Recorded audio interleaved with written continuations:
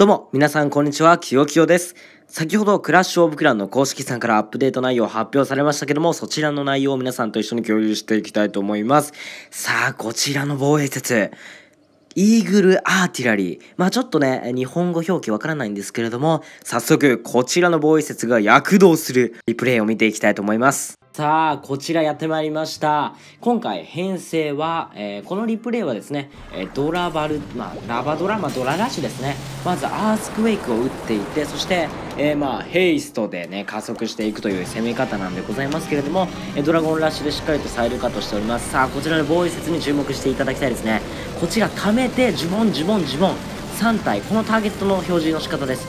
そして、流星群のごとく、ターゲットを取ってから落ちますね。そしてですね、またこのように貯める時間が少しあって、シュポンシュポンシュポン打っていきます。そしてこの近接攻撃がありますね。今見えますでしょうか？近接攻撃がですね、今あったんですよね。要するに2種類の攻撃方法があるのではないかなと思います。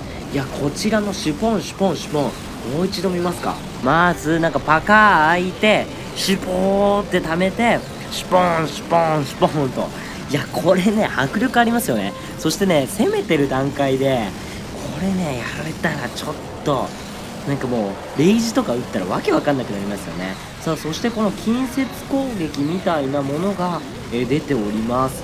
いや、ということですね、えーこちらのリプレイ、皆さんで見ていきましたけれども、こちらタウンホール11で新防衛施設、新ヒーローも出て、これタウンホール11超楽しみですね。え私の狂気のなんちゃらお楽しみに。ということで、ご視聴ありがとうございました。